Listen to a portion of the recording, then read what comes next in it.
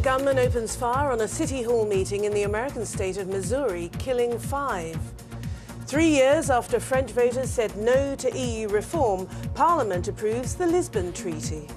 Mafia crackdown. Police in the US and Italy arrest dozens of suspected gangsters in a major transatlantic operation. Hello, welcome to the World Today from BBC News. I'm Martine Dennis. And I'm Sally Bundock. Also to come in World Business Report. Back to court. The man at the centre of the Societe Generale scandal could be taken into custody.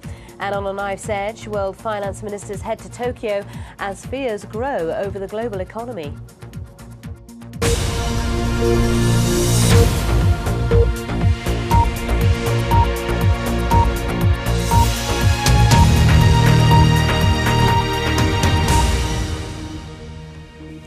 Police in the American state of Missouri say a gunman has shot dead five people during a city council meeting in a suburb of St. Louis.